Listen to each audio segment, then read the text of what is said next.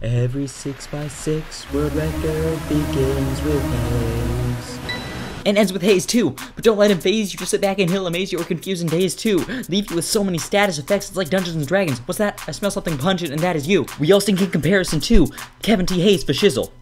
I don't know if T is his middle initial. I just guessed and it doesn't add a 4 with this rap. Plus there's a 126 chance that I'm not full of crap. You call Kevin Hays the international janitor. Sweeps the floor with givers across the planet. We say he's on Team USA. More like Team Kevin T. Hays. Now the T probably stands for Timothy or Tom, I don't know.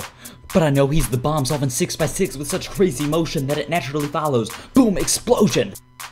Well actually, now that I think about it, I guess his middle name could be like Tyler? Kinda sounds right. Kevin Tyler Hays. No, I bet it's Trixie. Trixie. Kevin Trixie Hays. That would be weird. Kevin. Kevin.